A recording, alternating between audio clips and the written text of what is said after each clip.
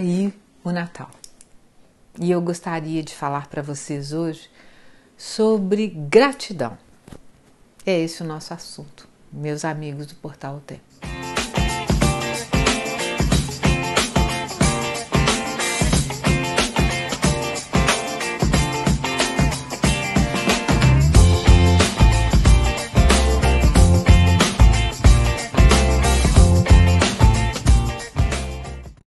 Gratidão.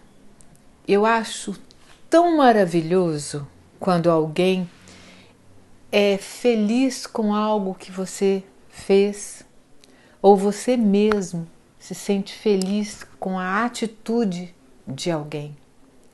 A gratidão é um dos sentimentos mais nobres que nós podemos ter. Quando a gente vê um animalzinho todo feliz porque a gente deu uma ração para ele, ele vem todo humilde, balançando o rabinho, por exemplo, um cachorrinho, mas isso não quer dizer gratidão, tá? Gratidão é algo muito mais forte, mais sublime, mais rico. E o ser humano é capaz de ter gratidão. Só que nem sempre a gente é ensinado a ter gratidão. Nem sempre isso está no comércio, nas propagandas, divulgando o que é gratidão. E às vezes uma pessoa faz um bem enorme para gente, para ela não custou nada e para nós representou muito.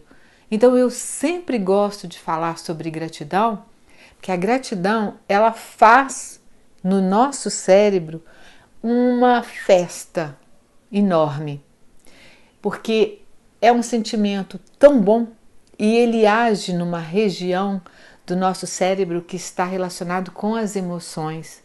E quando a gente tem este sentimento, não só a gratidão, os mais nobres eu acredito seria o perdão, capacidade de perdoar o outro e ser grato por aquilo que alguém fez por você mesmo que seja uma coisa muito pequena, seja grato, porque a manifestação da sua gratidão vai fazer muito bem para aquela pessoa. O sistema límbico, que é o nosso sistema de emoções no cérebro, vai levar aquela pessoa uma sensação de recompensa muito grande no cérebro e vai levá-lo a uma vontade de repetir atitudes boas, então, cultive dentro de você não por interesses, mas pelo simples é, encanto de se sentir grato por algo ou por alguém.